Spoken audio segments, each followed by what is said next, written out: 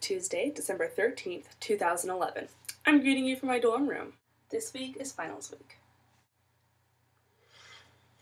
The tea that I poured earlier is peppermint tea. Peppermint generally grows best in moist, shaded conditions, and it doesn't have any seeds, and it spreads underground through these stolons. I don't know how to pronounce that. Like, young shoots are taken from older plants and then put in the ground. Peppermint is a hybrid of two different plants. It's normally sterile. and can only reproduce vegetatively through its rhizomes. So it can pretty much grow anywhere except for like some crazy conditions. But uh, that's what you should know about peppermint. Evan, I have a secret to tell you. It's not really the morning, it's actually evening. And it's only 7.14 p.m. I'm already in my pajamas. You may think I'm ready for the day, but this is false. Um, I'm wearing I'm wearing my whale boxers. I just put on this vest because I'm classy. Tomorrow I have two finals, uh, biology and psychology. Tomorrow is my roommate's birthday, and today I baked her a super cool cake, which I did not take a photo of. The cake is still in the fridge, down, down, down, downstairs, but I don't want to go and take a picture of it because. Just imagine, create this vision in your mind, okay? It's round.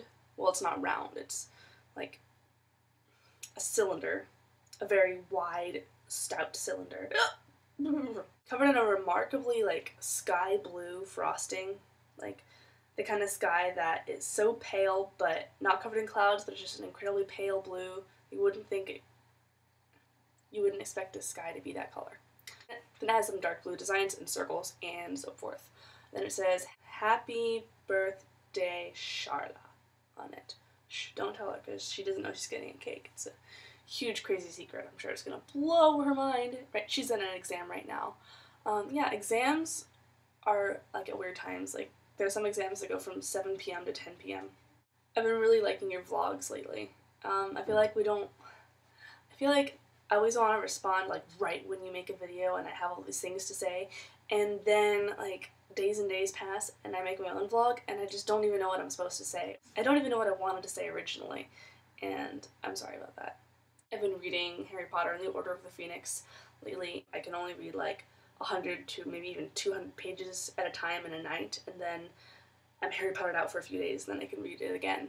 Um, not from the same place, I mean, from the place that I left off, not from the beginning, because uh, you understood what I meant. I'm gonna be home on Friday, so that's like Wednesday, Thursday, Friday. I'll see you in three days. One last thing. Does it irritate you when you're walking and you're listening to a really good song on your headphones and it's obvious that you're listening to music because you have wires coming out of your ears and you're like. Anyway, people go up to you and they don't just say hi. Like, it's fine if you say hi because they can go and like nod back to you because I can know that's what they're doing. But if they ask me a question, it's like. Sorry, what? But by that time, they're already past me and I'm like. I'm good, how are you? And it's just very awkward because because I make it awkward, actually, I, it probably isn't that awkward. We are POQ. Pouncing Orange Quillos. Ding ding.